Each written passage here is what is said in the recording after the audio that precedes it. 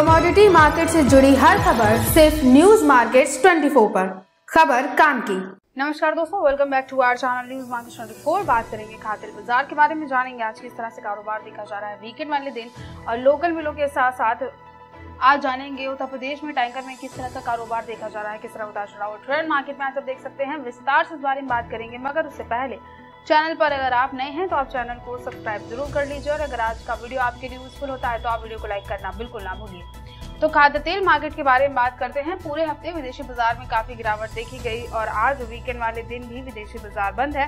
और जो बाज़ार खुले हैं, उसमें भी काफ़ी गिरावट के साथ कारोबार देखा जा रहा है। विदेशी बाजारों की गिरावट का असर आपको घरेलू मार्केट में देखने को मिल सकता है और यहाँ पर भी वनस्पति के साथ सोया, सरसों और पामोलिन में काफ़ी गिरावट के साथ कारोबार हुआ है।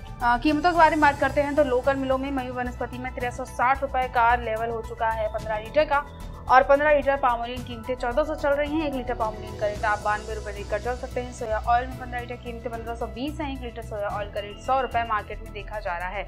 इसके अलावा फॉर्च्यून में पंद्रह लीटर कीमतें सत्रह सौ पचास है, एक लीटर फॉर्च्यून का रेट एक सौ इक्कीस चल रहा है। बेस्ट चॉइस में सोया रिफाइंड में एक लीटर कीमत एक सौ तीन है, पामोलिन में एक लीटर का रेट चौरानवे रुपए है। उत्तर प्रदेश के बारे में अगर बात करी जाए तो गिरावट यहाँ पे भी है।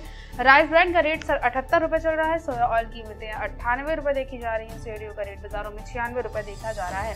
इसके अलावा मस्टर्ड कीमतें उत्तर प्रदेश में सौ रुपए हैं। एक्सपर का रेट अट्ठानवे रुपए है। पामोलिन में चौरानवे रुपए का रेट आप मार्केट में देखकर चल सकते हैं। बहुत ज़्यादा तेज़ी के साथ कारोबार नहीं देखा गया है विदेशी मार्केट को देखते हुए।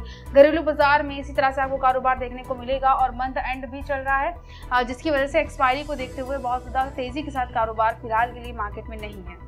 तो आज की खबरों में सिर्फ़ इतना ही। अगर आज की खबरें आपके लिए यूजफुल हो तो लाइक ज़रूर कीजिए अपना फीडबैक कमेंट सेक्शन में हमें ज़रूर दीजिए।